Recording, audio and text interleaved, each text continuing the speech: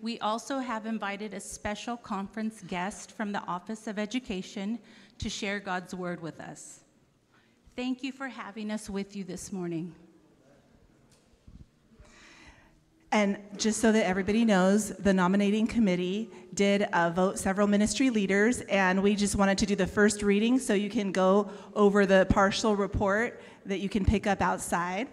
And um, as far as some announcements, we do have uh, the Minor Prophets program going on, and it, it began last Friday at 7 p.m., and it will continue every Friday in the Adult Sabbath School Room. And please, next week is a wonderful week. We have Dr. Kidder. He's a special guest from Andrews University. He'll be coming for March 1st and March 2nd. He'll be talking about discipleship, and I took a class from him. He is such a godly man. He's my favorite teacher, has the best stories because he's actually born and raised in Nineveh. Um, the first thing that he'll be talking about is experiencing God through prayer, March 1st at 7 p.m. He'll be talking about experiencing God through touching lives, March 2nd for the uh, adult Sabbath school at 9 a.m.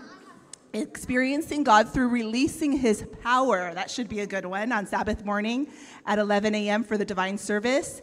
And then this is going to be, I, I, invite you to come to this one. He's going to talk about his escape from Iraq on March 2nd at 2 p.m. after the potluck.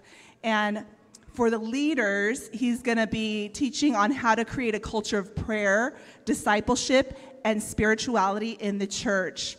And um, the time for that will be discussed. Okay, so thank you, everybody, for coming and enjoy the Sabbath.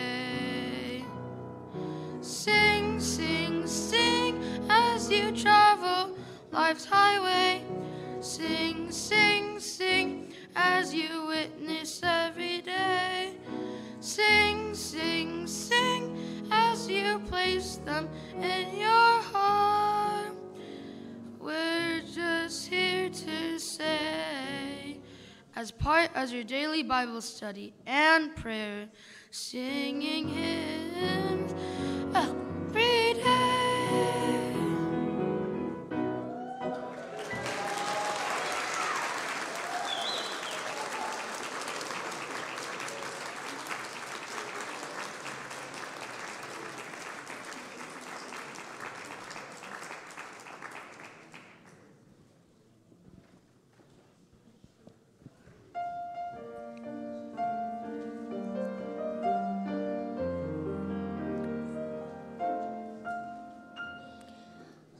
Little barefoot boy running through the sand.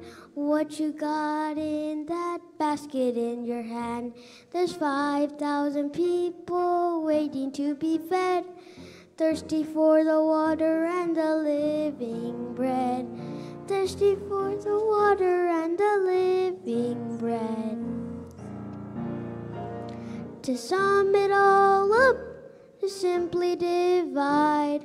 Wash and fish your bread, just multiply. Add a little faith, subtract all your doubt, and watch it all work out. You got to give it away, pass it around. There's 12 four baskets sitting on the ground. I can tell by your smile a twinkle in your eye. The master has taught you how to multiply. The master has taught you how to multiply. Little barefoot boy running through the sand. What you got in that basket in your hand? There's 5,000 people waiting to be fed, thirsty for the water and the living bread. Thirsty for the water and the living bread. To sum it all up, you simply divide. Wash and fish your bread, just multiply. Add a little faith, subtract all your doubt, and watch it all work out. You got to give it away, pass it around. There's 12 four baskets sitting on the ground. I can tell by your smile and the twinkle in your eye. The master has taught you how to multiply. The master has taught you how to multiply.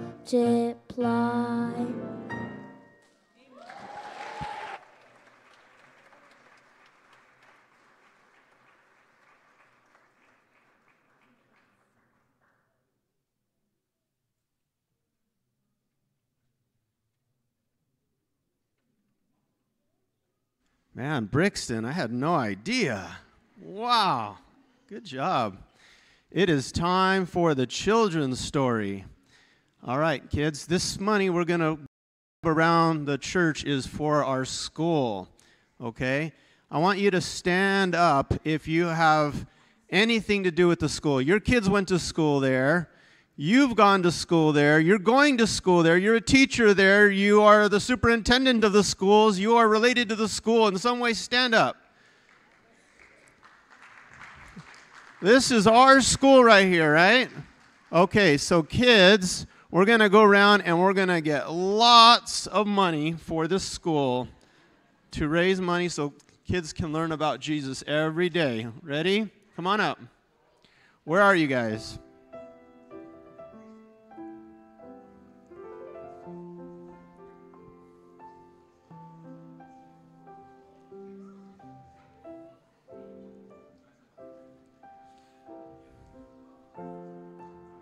Go back for seconds, you know. This is a special education day, so don't just take one, you know. Go back for more.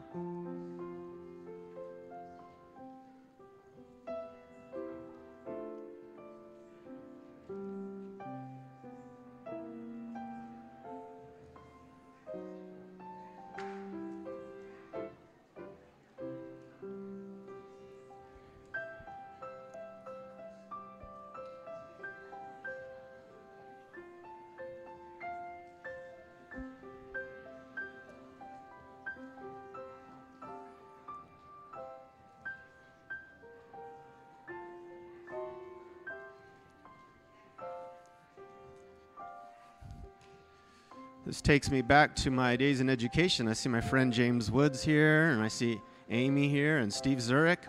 Worked with all of these people. It's wonderful.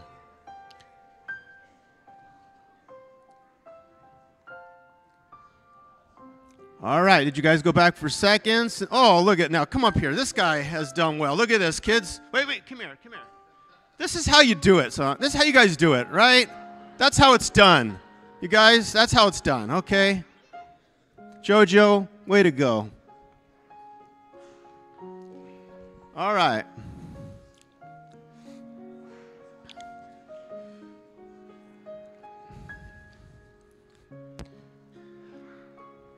All right. Oh, good job. Will did it too. Wait, don't give it to me. Put it in the put it in the put it in the in the box there. All right, you guys ready for a story? All right. Come on and sit down. Come on this side of the piano. Come over here. Come over here. Come over here for the story. You can sit on the front, or you can sit next to me here if you want. Sit next to me here on the front steps, wherever you like. Come over here. Sit down. Now,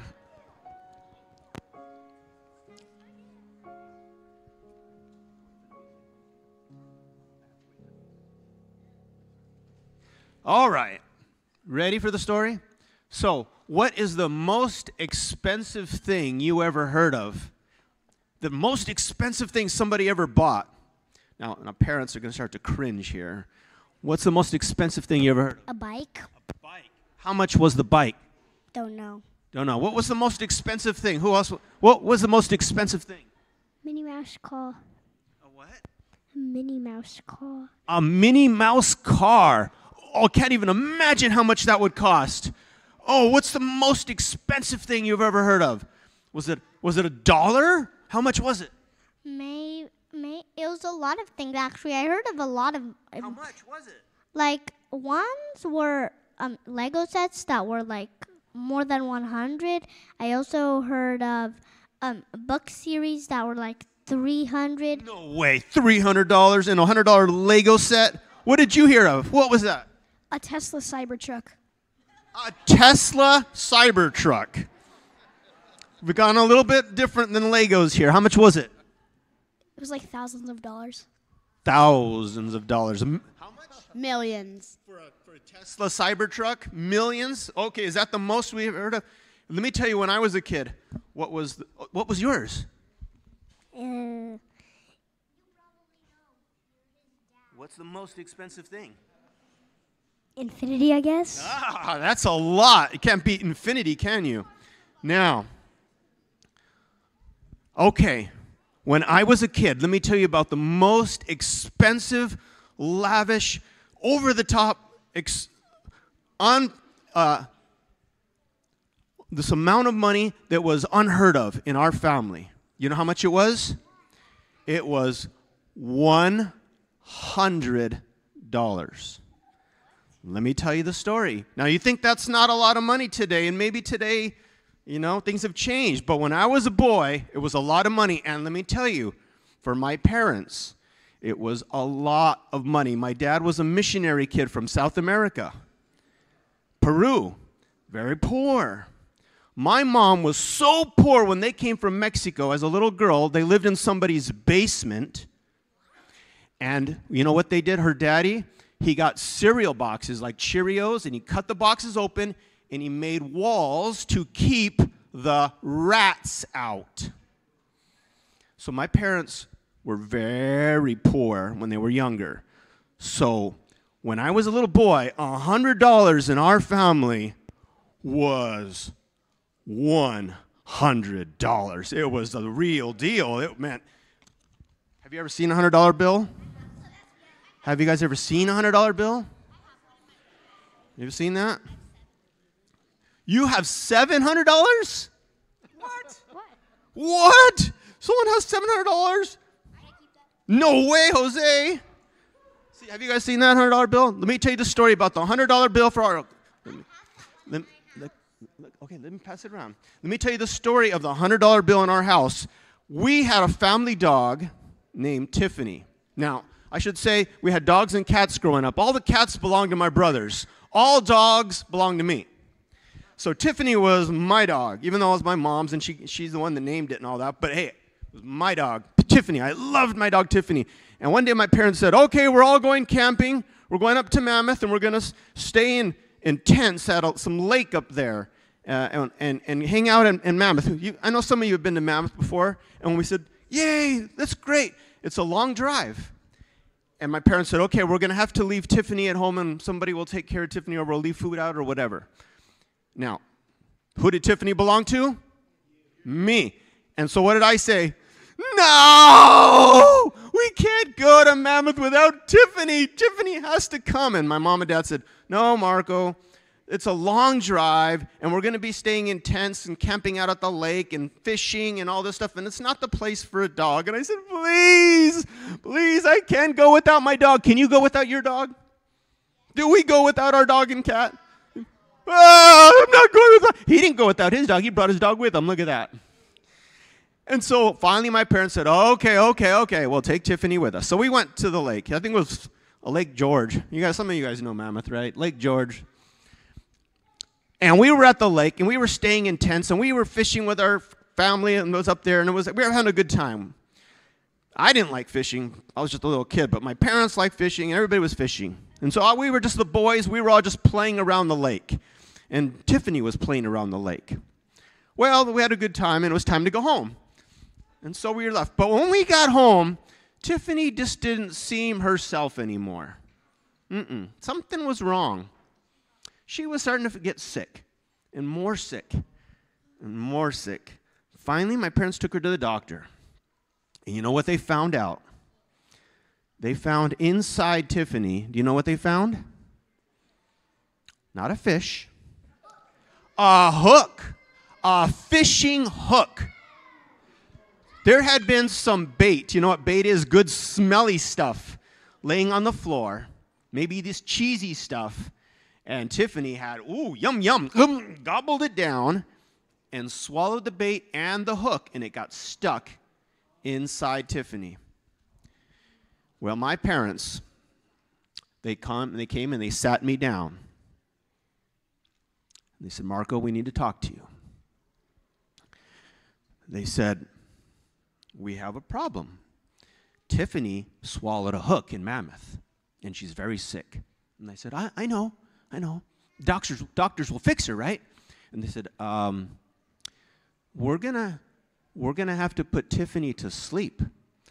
And I said, well, for how long? And they said, well, for a long time. She won't wake up again. And I said, but why? she's sleeping, she just wake up. And they said, well, we don't really mean she's sleeping. We mean the doctors are going to give her medicine so that she never wakes up again, so that she dies because she's really sick. Now, that was my dog, right? So, what do you think I said? Not exactly. It was more like this. you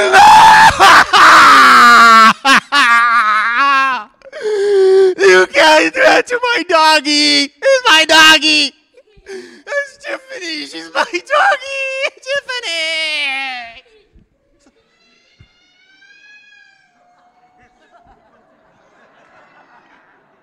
Sorry. Sorry.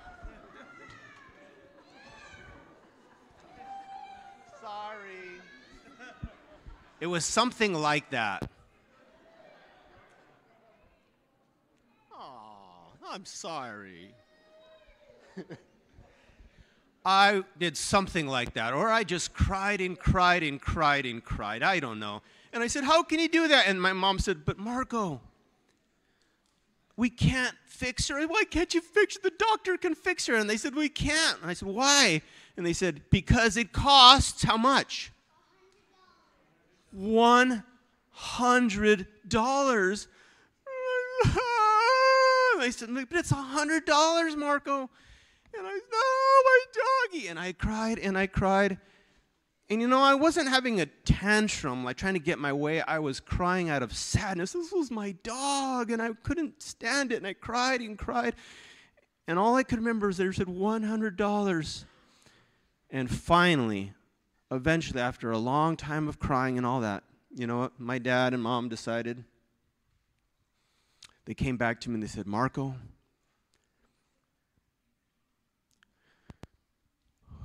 we're going to pay the price. we're going to pay for Tiffany to be fixed. And I felt better, but I didn't feel all the way better until the day I went to the doctor's and looked through this glass box and I saw Tiffany wake up from surgery and eyes. Tiffany saw me, and what do you think happened the moment? Even though Tiffany was laying down in this box in the doctor's office behind the glass, what did Tiffany do when she saw me? We saw a tail start to wag. She couldn't get up. She was t- recovering from her surgery, but we saw that tail wagging, and I knew Tiffany was going to be okay. My parents paid the price they paid $100 for Tiffany's life. You know why they did that? Who did they do that for? They did it for me. You ever thought about God in heaven? We are sinners. No matter how good we try to be, we are never we're never good enough. We're never like Jesus. We're never perfect in our love. How many of you like done things that are wrong? Right? Everyone here has done things that are wrong. Even when we do things that are right, we do them for the wrong reasons. Our hearts are not perfect. And we were all we were all should be lost. We all should not get to go to heaven. None of us should deserves to go to heaven and be with Jesus forever. You know? And if we knew what that was going to be like someday for us, we would all be crying, want to go to heaven. I want to be with Jesus. I want to be there forever. I want to go. We would all be crying if we knew what we were missing out on. And you know what the Father did? He saw the suffering. He saw our suffering. He saw our hurts.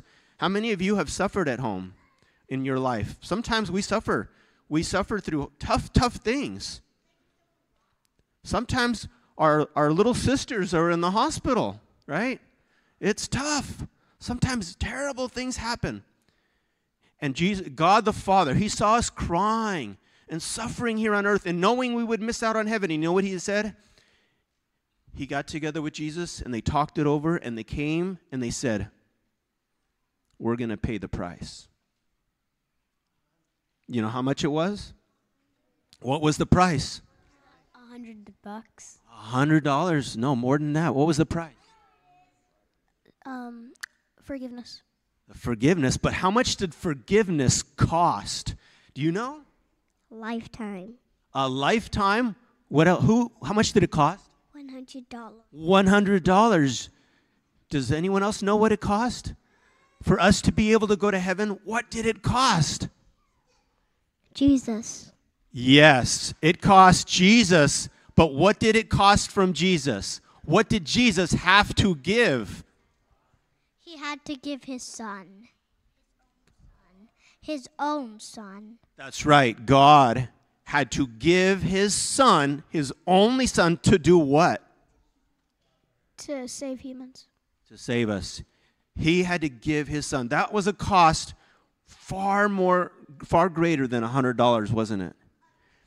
They paid the price. Jesus died on that cross for us he paid the price for us, and his Father paid the price for us, so we can be in heaven forever.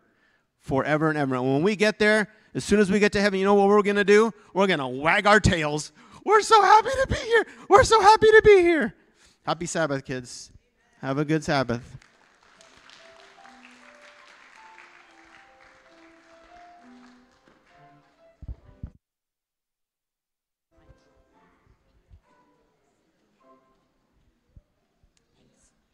Good morning, everyone. Happy Sabbath. Good to see you all. Um, I just wanted to announce that we're going to Santa Ana uh, for our homeless ministry next week. Um, uh, unfortunately, we had to postpone this week to next week. Um, uh, because of some meetings that was going on. So um, next week at 2 o'clock, we're going to leave for Santa Ana. We make the sandwiches in the morning as usual. So, and I'm excited to announce that we are going with the Spanish church again. So they're going to join us and. Uh, bring us their probably um, wonderful soup and, and all this stuff and the uh, hymns that they sing and everything. So we're excited about that. So if you have any uh, clothings, any jackets, any blankets, especially we, we are in need of uh, larger sizes. I would say medium and up, uh, for clothing items, uh, pants, uh, jackets, sweaters. Um, also, uh, gloves and beanies if you have extra ones that you want to donate, or you can just give us the uh, monetary help so that we can order all those in bulk uh, from Amazon and different places and deliver them to the homeless. I have two quick testimonies. Um, from the past couple of weeks, I would say, I just wanted to share with you to show how wonderful our God is. Um, one is about uh, one of the, one of our guests, one of uh, the homeless people that we normally, um, in the past two um, two years, I would say, we've been um, helping him. He's he was he used to be at Doheny parking lot. And um, as you heard, he um, went into a detox center, and he's, he's, he has been there for a few months. And he called me um, yesterday, and uh, it was such a beautiful testimony. He said that, um, you know, he realized that all this time he was the one who was resisting God, who was resisting the Holy Spirit uh, for going to the detox center. And he said, once, once he decided to give the control to God, that was it. He said, I am just sitting there in awe and I'm just watching how my life is unfolding in front of me because he took over. He he controlled everything. And he said it's not that i'm not having hard times. I'm having difficult days that i feel like i just want to go and uh, again live live on the beach and and buy that bottle and go. But but he he stops me. He talks to me and he stops me. And i know the holy spirit uh, is there every second with us. And you know, when when I was done talking to him, I realized, wow, your your money and your help is really part of the cause that he's where he is right now because um, you know we always uh, serve the group on Doheny with food, with clothing, with with love that we carried with us, and and at some point we um, he was he ran out of uh, his car ran out of battery, so with the money we had in the ministry, we purchased the battery for his car, and I was thinking if he didn't have that battery in his car, he wouldn't be able to make it to Victorville to go to the detox center. So all these dots just started reconnecting for me and, and knowing how, how God is using uh, this ministry and all of you guys um, as, as his vessels, as his instruments to, to carry his will at this point. Also, another testimony was uh, from, a, uh, from a gentleman, a homeless gentleman in San Juan Capistrano. In the last 10 days, as you remember, it was really rainy, and we took some uh, blankets and food to this gentleman. And um, as we started praying with him and giving him the food and the blankets, he started, he broke down and he started crying. And he said, let me tell you a story. Last night, as it was raining and it was really cold, I was um, I was um, sleeping on a bench at a bus stop in Mission Viejo. He even told us exactly what cross streets, and he said I was sleeping. I was sleeping deeply on that bus stop, and for in the matter of a second. I woke up and it was like something just threw me away from the bench and and not even two seconds later, there was a car that slid and, and hit that bench in that bus stop and smashed the bench.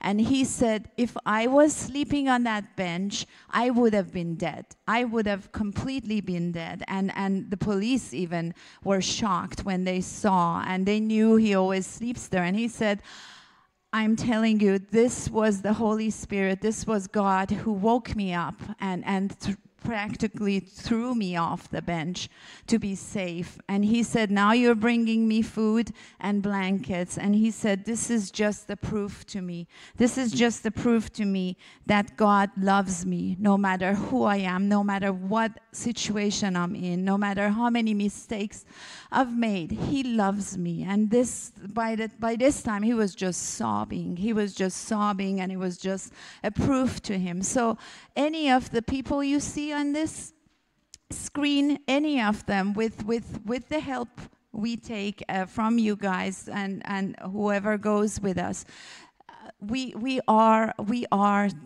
going to them from, from God. We are a vessel from Him to do His will. I'm just going to end my talk uh, with a scripture that I'm going to read. It's uh, Lamentations 3 22 and 23. The steadfast love of the Lord never ceases, His mercies never come to an end. They are new every morning. Great is your faithfulness. And our God is faithful. So please, I thank you for all you do for this ministry and all the ministries in, ch- in this church. Have a blessed day. Thank you.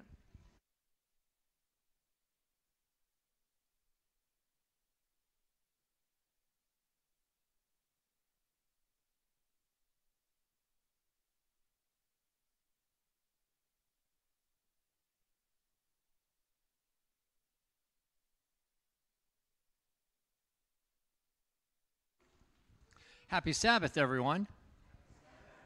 How do you follow up with a testimony like that, huh? So, today we're here for the local offering and church budget. And the theme for today is the grateful giver. Um, I'd like to actually read a verse because what are we grateful for? What has God done for us in our lives? And, and what does He continue to do? Um, Colossians 3:15 through 17 says, "Let the peace of Christ rule in your hearts, to which indeed you were called in one body, and be thankful.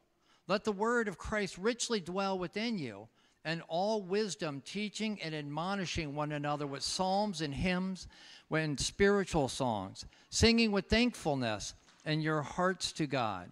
Whatever you do in word or deed, do all in the name of the Lord Jesus, giving thanks through him to God the Father. Are you thankful for the peace that Christ gives us? Do you have that peace? For inviting us to be part of the body of the living God here on this earth. That Christ may abide and dwell in each and every one of us, in our hearts, and bless us abundantly. And we are blessed, right?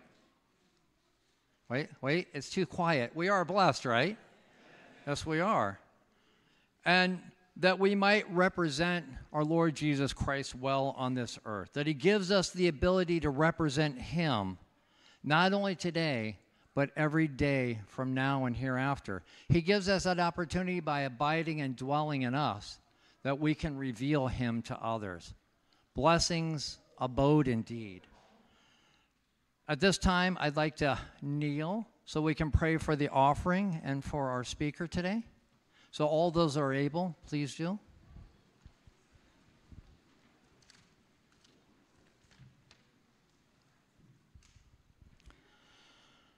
Our gracious Heavenly Father, Lord, we come to you with humble hearts. We come to the throne of grace.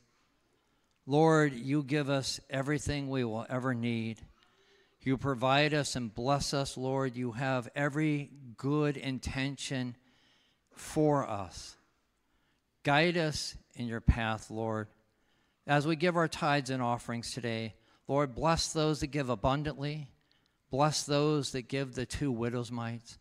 Lord, that we give from the heart, that we have a grateful heart, Lord, for what we've done. For you've done for us so much that you guide us each step of the way. Not let our giving not be dictated by the will of our mind, but by the Holy Spirit nudging us in our hearts. That we may glorify your name, Lord, and do your good will and pleasure. Just even with the homeless ministry, Lord, the money that's given to the church budget is money that is used to serve your needs in this world and to keep everything running. Lord, We want to pray for Elder Steve as he presents the message today. Guide his words, anoint his lips, that he might speak your truth, and that it might be Holy Spirit guided each step of the way so each person hears what they need to hear from you, Lord. We're all different, and we all all have that void that needs being filled by the living God. Guide his words to speak to speak to fill those voids. We pray for Mr. Woods as well, Lord, that you touch and anoint his body. Lord, that you heal him, that you correct anything that's out of line, and Lord, that you restore him, that he might use the gifts you've given him in this life to glorify your name to the fullest. Lord, we pray for those that are have controversies, that have troubles, that are ill. Lord, this is a sinful world, and there are many things that are, are happening each step of the way that all want to take us away from you. Lord, I pray that you might smooth the trail and straighten the road. And anyone in conflict, whether it's health wise or even spiritually, Lord, that you bring them back to the path to you. Because, Lord, we gather as a body here today in church as a body of Christ, but you want to see us gathered someday in heaven where we can see all that you've done for us and we will not have to see as a shadow the living God. As we look in a mirror dimly, but see you complete and full and realize just what an awesome God you truly are. Forgive us our sins, Lord, and guide us in your truth. May the money that's given today be multiplied and, Lord, used to do your goodwill and pleasure in this earth, here and now and for many days to come. Praise and glory be to you, Father, Son, and Holy Spirit. And we pray all of this to you in Jesus' name. Amen. The deacons come forward, please.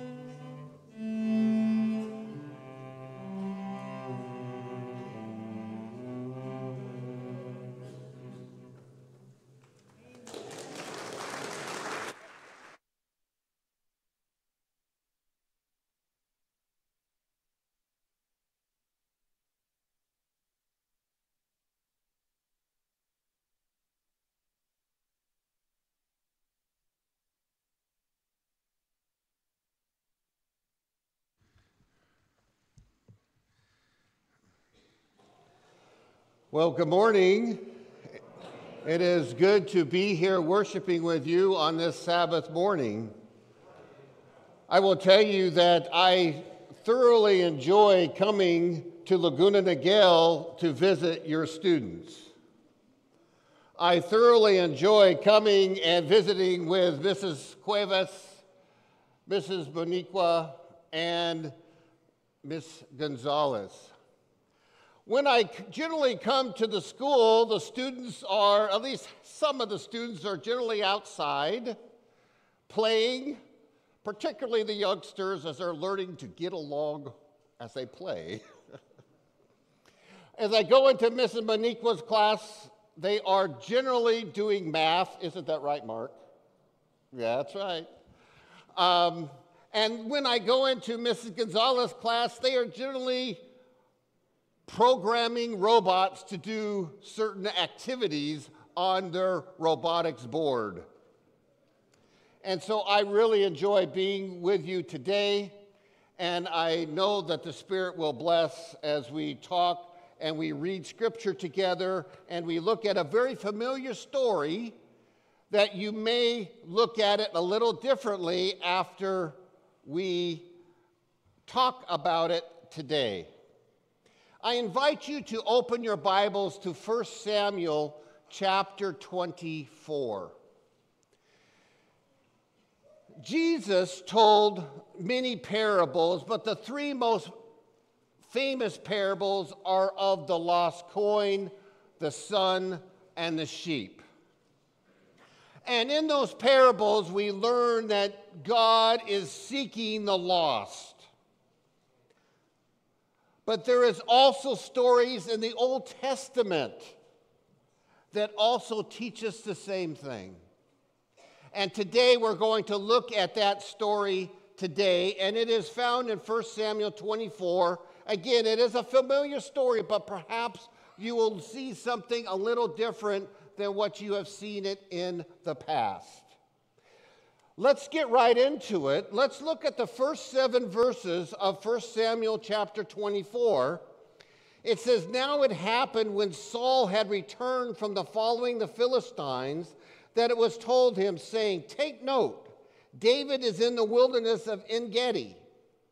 Then Saul took 3,000 chosen men from all Israel and went to seek David and his men on the rocks of the wild goats.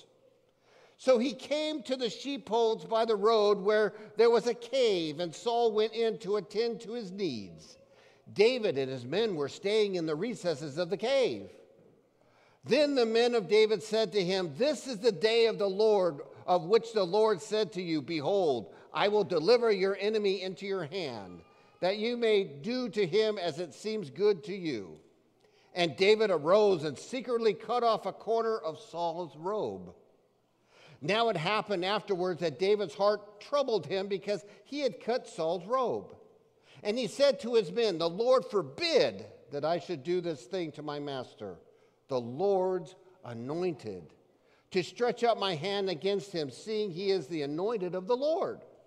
So David restrained his servants with these words and did not allow them to rise against Saul. And Saul got up from the cave and went on his way. Let's pray. Father God in heaven, in just the few moments that we have together, may the Spirit guide and direct. May our ears be open to hear the teaching of this day. May the teaching be clear. We thank you, for we pray this in the lovely name of Jesus Christ. Amen. You see, this chapter begins by telling us that Saul has just been pursuing the Philistines. And if you have read chapter 23, you know that it is a miracle that Saul was called away to follow the Philistines because he was about ready to get David. His army had surrounded David. But all of a sudden, word came of what the Philistines were doing, and so he had to leave. But we also see here in this first verse that Saul has spies everywhere because it says that it was told him where David was. Now, I encourage you sometime, maybe today, go to YouTube and search for Caves of Engedi.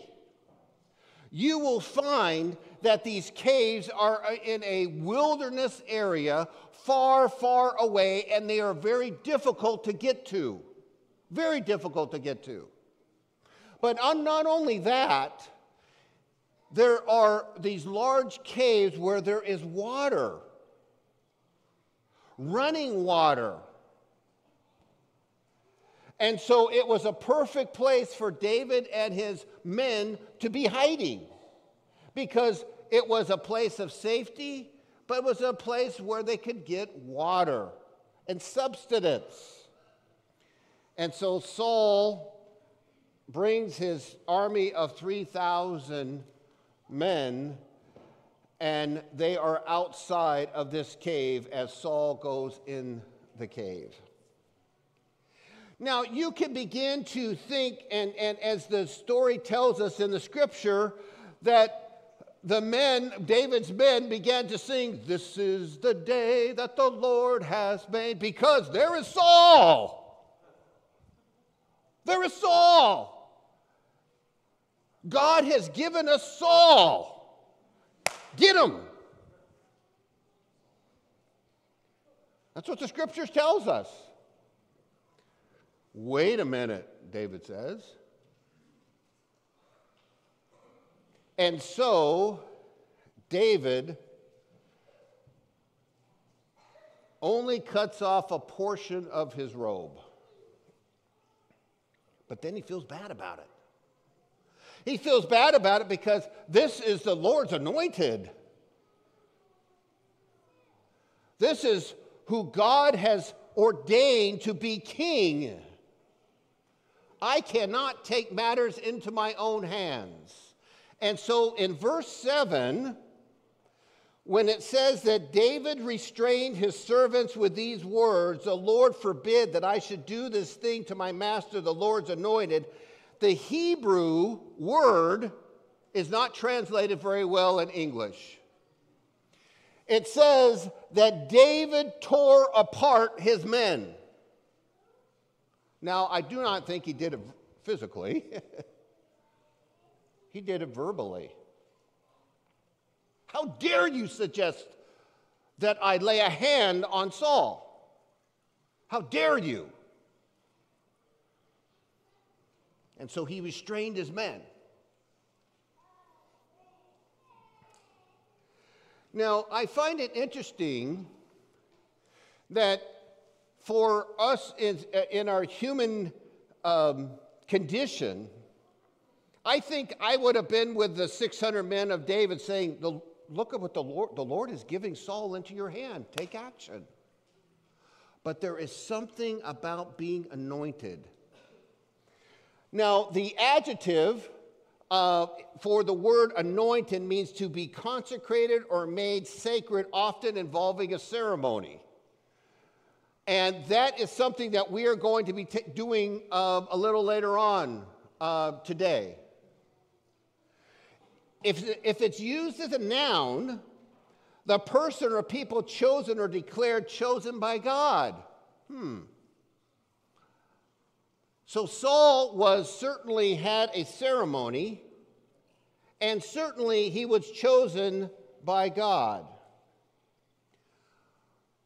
I want to pause just for a moment from the story and to think about for us.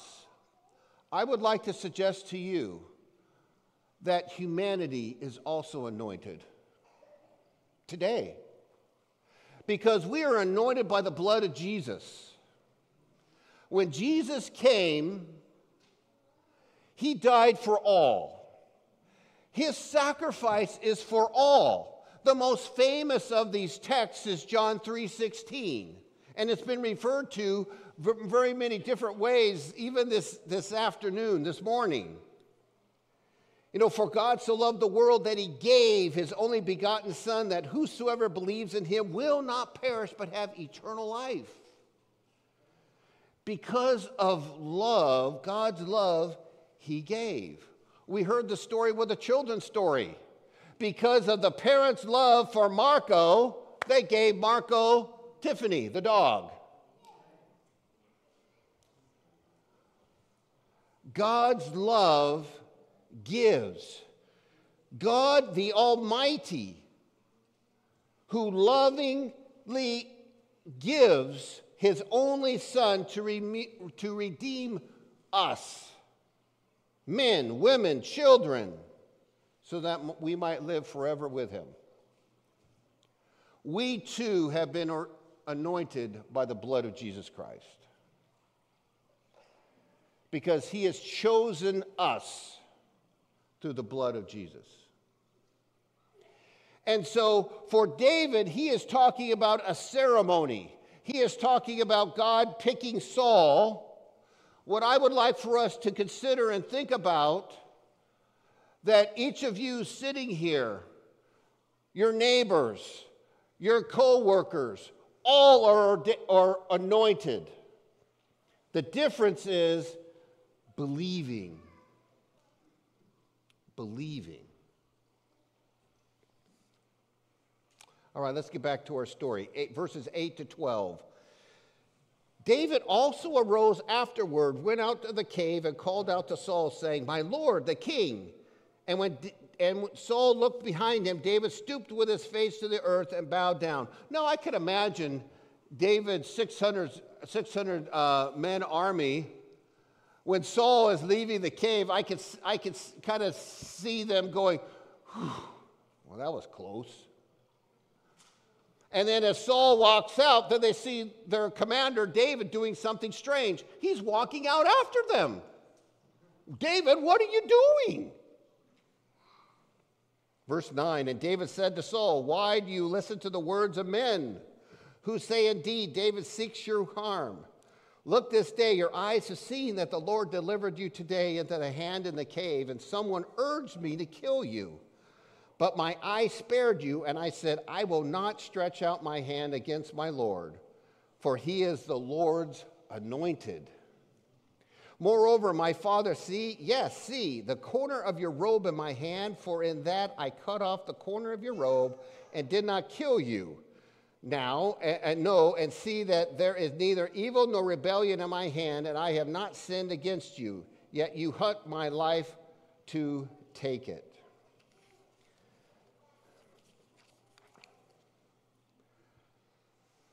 So he holds up a corner of the robe and says, See? Hey, Saul, look what I got in my hand. Oh, I got a corner of my robe missing. See, Saul?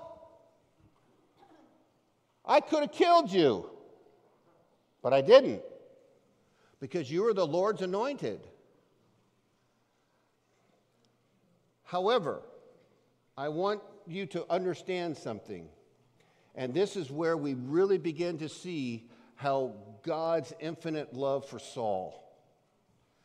This piece of garment represented something far different to Saul than it did to David. To David, it represented, I could have killed you. So why are you chasing me? I wish you no harm. So stop chasing me. That's what this represented to David. Now, to Saul, okay, yeah. Ah, but this is not the first time that Saul has seen something torn. Do you remember that story? It's found in 1 Samuel 15. When the kingdom of Israel is foretold that it's going to be torn away from Saul. The story is, is that Samuel is there with Saul. Saul has disobeyed the Lord. He was told to do something with the Amalekites and he did not do it. He did it what he wanted to do. And so what happened is Samuel says, You have disobeyed the Lord. The kingdom is going to be taken from you. And Saul reaches out as Samuel is turning to go and tears the coarse portion of Samuel's robe. And he is left with the robe. And he is reminded that the kingdom is going to be given to someone else. David does not know this information. David says, This means I could have killed you, I could have hurt you. But to Saul, this means that the kingdom is torn away from me.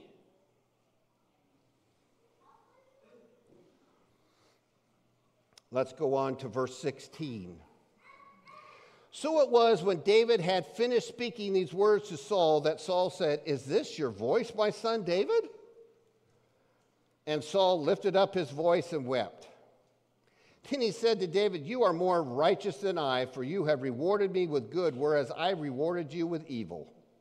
And you have shown this day how you have dealt well with me, for when the Lord delivered me into your hand, you did not kill me. For if a man finds his enemy, will he let him get away safely? Therefore, may the Lord reward you with good for what you have done to me this day. And now I know indeed that you shall surely be king, and that the kingdom of Israel shall be established in your hand. Now, how did Saul know that? There is nowhere in Samuel where it is announced that David has been anointed as king, as the next king. There is nowhere. There is nowhere where it is recorded that people knew that way back when, when David was a lad tending the sheep, that he was anointed king. It's not there. You will not find it.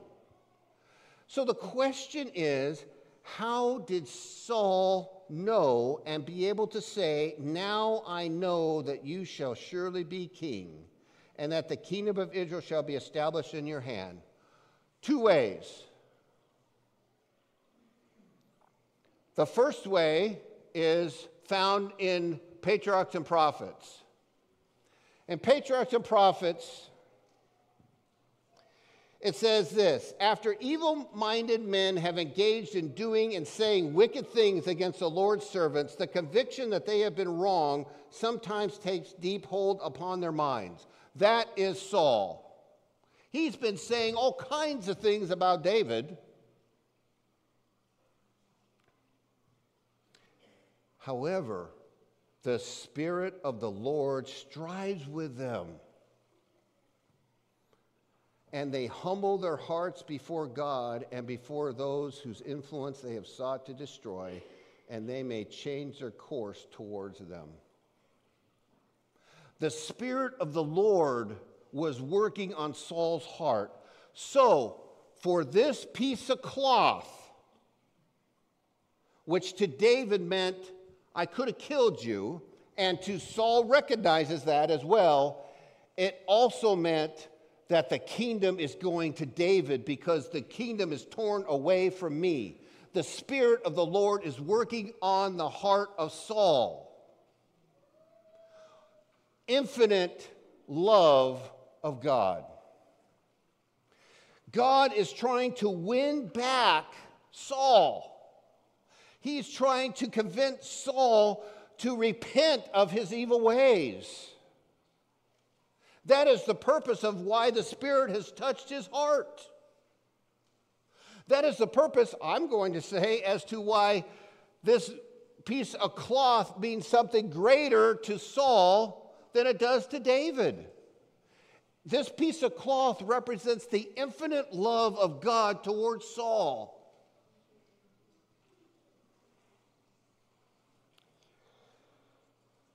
Saul had quite a history, actually. Um, you know, reading uh, through Samuel, um, previous, um, he ordered the killing of 85 priests, their families, and their families in the city of Nob. All because the priest Elimelech helped David. Saul's not a good guy. He's not a good guy at all. I count 11 times Saul tried to kill David between 1 Samuel 18 and ending in chapter 26. Saul has a history. Saul is a despicable king. He is a king that has lost his way. He has done terrible things.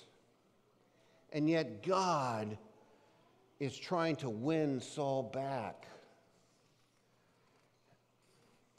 God is demonstrating his infinite love to Saul, bestowing his spirit to win him back. God's endless love towards Saul moves Saul to a humble heart to be able to recognize that David will be king of Israel. Again, no one told Saul this. Saul's statement demonstrated God's working on his heart.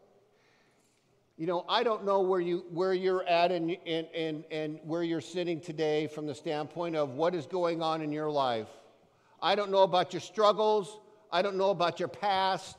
I, I, I have no clue. But I'm here to tell you this same God who had infinite love for Saul has infinite love to you as well. There are several scriptures in the Old Testament that speak of God's endless love. Psalms 136, 26, God love endures forever. Psalms 86, 15, O Lord, you are merciful and gracious, slow to anger, abounding in steadfast love and faithfulness. First Chronicles 16, 34, giving, give thanks to the Lord, for he is good. His love endures forever. Lamentations 3:22 the faithful love of the Lord never ends. In scripture this phrase his love endures forever can be found 26 times.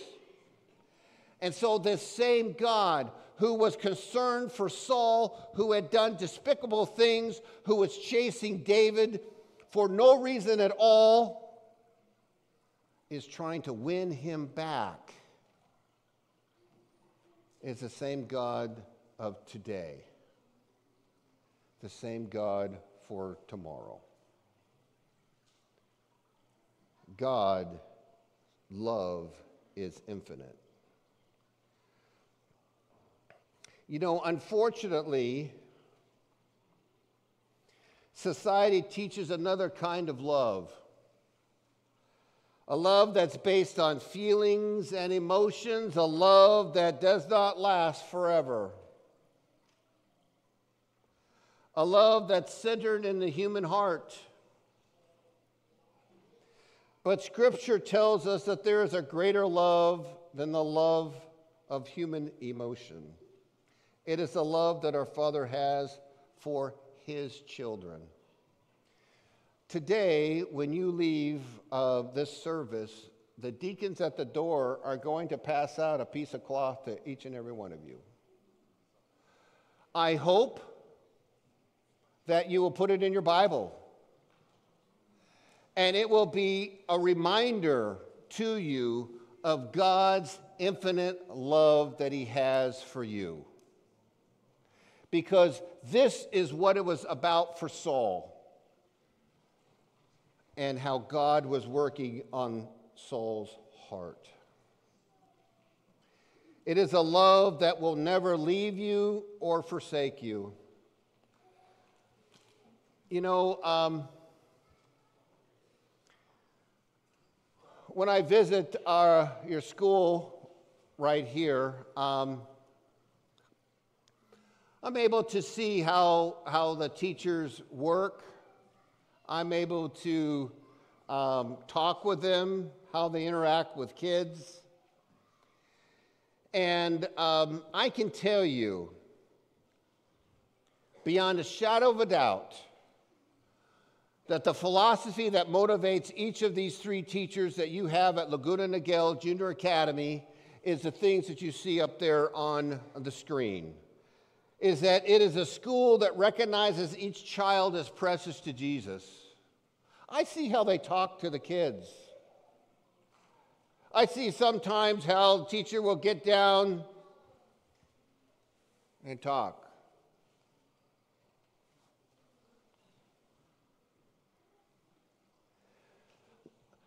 Your school is where students are treated well because they recognize that the children are a child of the king. And so that too is the philosophy that governs how their classrooms are organized. And I also want to suggest you a third thing is that your teachers here are, know that the children are anointed by the sacrifice of Jesus. And so everything that they do in their classroom is trying to help provide a picture of a loving father, a God who has infinite love. And I just would like to thank this congregation for the support you provided Laguna Niguel Junior Academy over the years. Our schools have been established for this very reason to provide examples of God's infinite love that He has for the children. And so, this story of the lost king, a story of God's infinite love, is a story, unfortunately, that does not end well for Saul. But it is not because God forsook Saul. Throughout the story, throughout the story of Saul and David, you can see instances where God is intervening to provide opportunities for Saul to turn back to him. And so, as Jesus told this, these parables, they all have happy endings. Unfortunately, the story of the lost king does not have a happy ending for Saul, but it is not because God is any different. God is constantly searching and looking for all who are lost. And so this morning, I would like for you to, um, as, you, as you exit today, as you get your little cloth, um, again, put it in your favorite scripture text, put it in your Bible, but may it represent the infinite love that God has for you. We will have a special music, and after the special music, we will have an anointing service. Um, and, and, um, uh, and so that is how we'll proceed for the rest of our church service.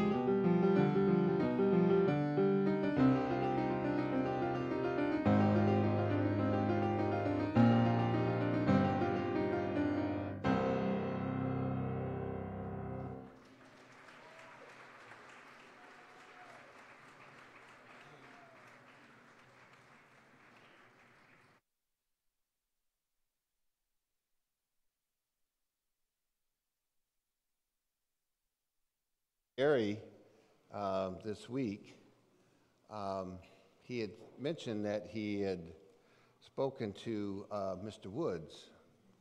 As some of you know, Mr. Woods has a physical ailment. It's not life threatening, but it's, it is something that certainly deals with his bread and butter, which is his voice. Why don't you talk a little bit about that? Well, as most of you may already know, Mr. James Woods is Laguna Niguel Junior Academy's music teacher, and we've been blessed to have him teach our students for the past year and a half. Unfortunately, Mr. Woods has recently been, diagnosed with vocal cords, sorry, vocal nodes, and is currently unable to teach music class or direct our choirs. We've been praying for his full recovery and hope that surgery is not needed. As you can imagine, that type of surgery um, is very risky. Mr. Woods has been teaching music and directing choirs in our Adventist schools for over 40 years.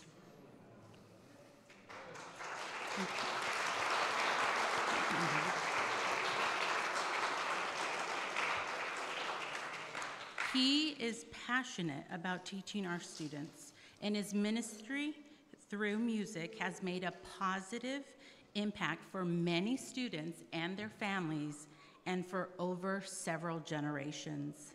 So we are tremendously blessed to have Mr. Woods as part of our LNJA family.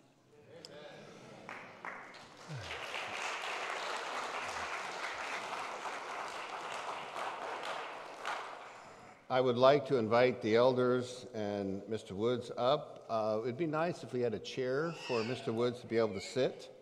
Um, if someone could get a chair, that would be great. Um, for those of you who are not familiar, um, James speaks about anointing. And um, if you turn in your Bibles to James chapter 5, Starting with verse 13, it says, Is anyone among you suffering? Let him pray. Is anyone cheerful? Let him sing psalms. Is anyone among you sick? Let him call for the elders of the church and let them pray over him, anointing him with oil in the name of the Lord. And the prayer of faith will save the sick, and the Lord will raise him up. And if he has committed sins, he will be forgiven.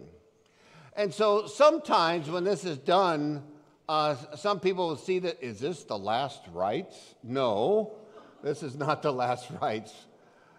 This is just something that Scripture tells us about anointing, about calling the elders together and to pray over him, and to pray something specific, and that is healing for the vocal nodes to be gone.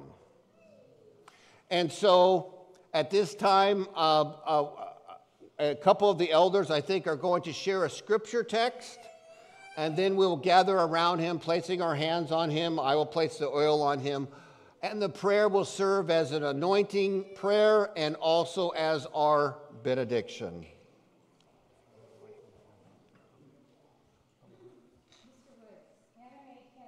Today, but she wanted me to share with you a, the scripture that has meant the most to her through the years. And she said that she's leaned on it when she has gone through struggles. And it's the Psalms 23. The Lord is my shepherd, I shall not want. He maketh me to lie down in green pastures. He leadeth me beside the still waters. He restoreth my soul. He leadeth me in the paths of righteousness for his name's sake. Yea, though I walk through the valley of the shadow of death, I will fear no evil. For thou art with me, thy rod and thy staff, they comfort me. Thou preparest a table before me in the presence of mine enemies. Thou anointest my head with oil. My cup runneth over. Surely goodness and mercy will follow me all the days of my life, and I will dwell in the house of the Lord forever.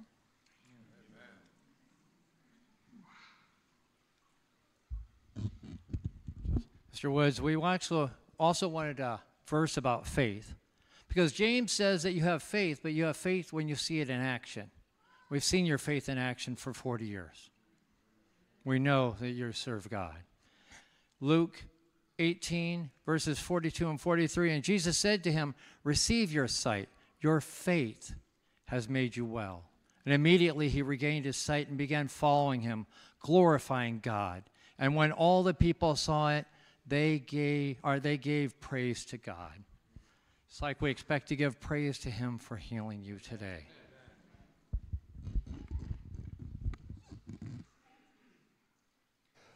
All right, if we could gather around uh, James and put your hands on him as we have our prayer.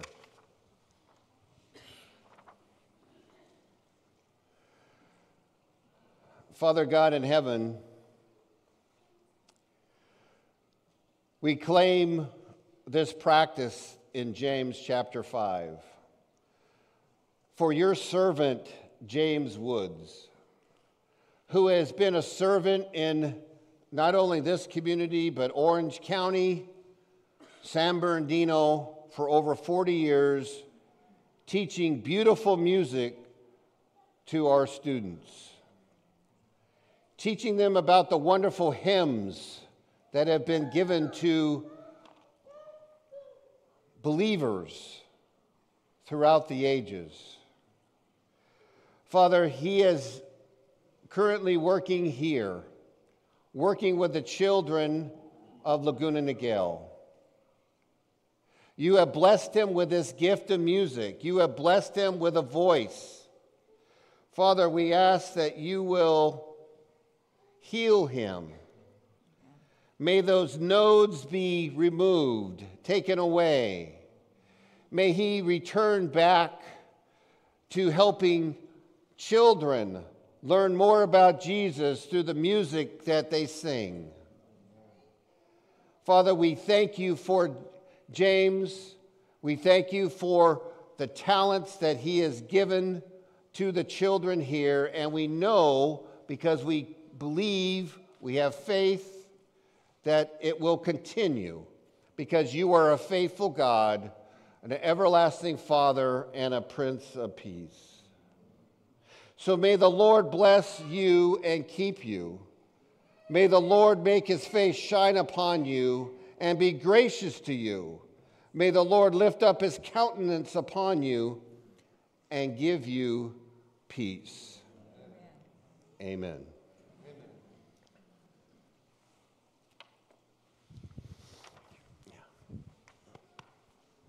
Thank you.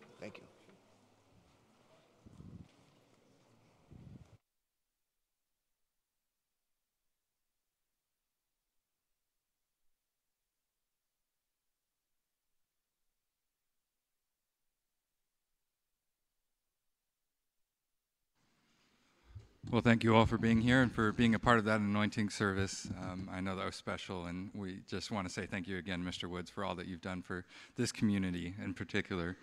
Um, and that concludes our church service for this morning. We wish you all a happy Sabbath. If you are in need of prayer, um, whether for something specific or you just would like some prayer in general, we'll have an elder up here at the front that will be available for prayer for you. Otherwise, have a happy Sabbath, a wonderful afternoon, and we hope to see you soon next week. Mm-hmm.